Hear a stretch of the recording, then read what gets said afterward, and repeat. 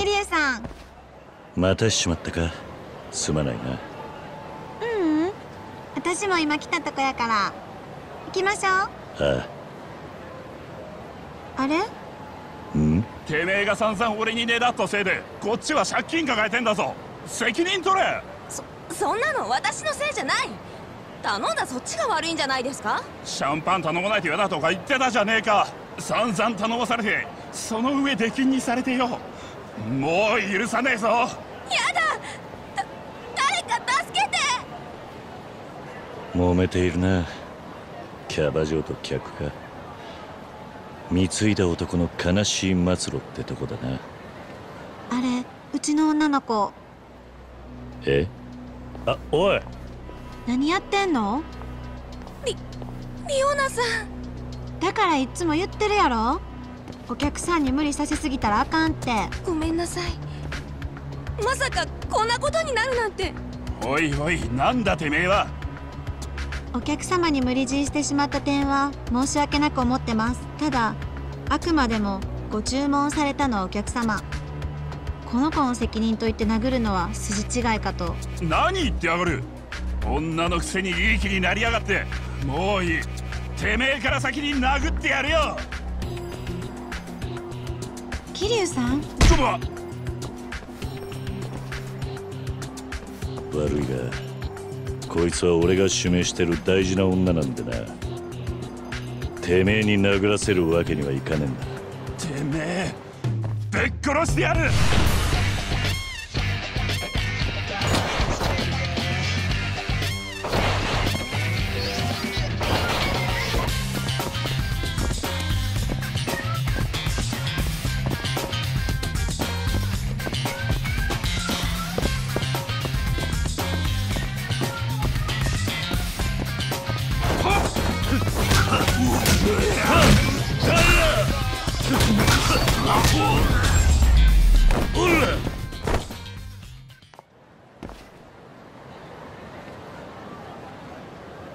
本当に。すみませんでした。私に謝ることじゃないよ。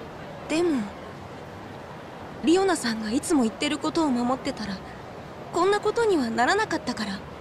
私リオナさんがお客さんに無理に注文させないの見て甘いなとか思ってました。キャバ嬢は結局売り上げが全てなのにって。でもやっぱり違うなってリオナさんのお客さんは絶対こんなことしないもん。みんなリオナさんを慕って指名して楽しそうに帰っていく。私もやっぱりそうなりたいなって。こんな悲しい思いしたくないし。きっとなれるよ。大丈夫。いくらでも応援するから。はい。私も良心的なキャバ嬢を目指しますありがとうございました。よかったじゃねえか。期待の後輩がまた一人増えたな。うん。桐生さんありがとう。何？だがああいう時は最初から俺に頼れ。ほんまに怪我されたら男のメンツが立たねそうやんね。ごめん。私あの子を守りたくてつい。気持ちはわかるしお前のそういうところは嫌いじゃない。だがもっと人に頼った方がいい。人に頼ることは弱さじゃない。人を頼れるってのは強さでもあるんだぜ。やっぱりかっこいいな桐生さんは。さ仕切り直すか。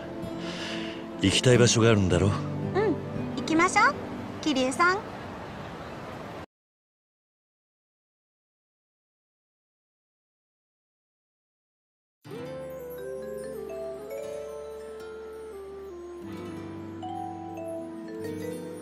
この場所好きなんよね。一人になりたい時によく来るの。でもいつか好きな人ができたら一人じゃなくて二人で来たいなって。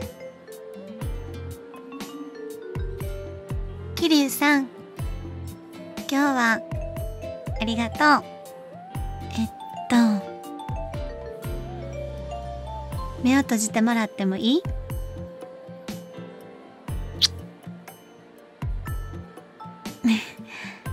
これからもずっとそばにおってな。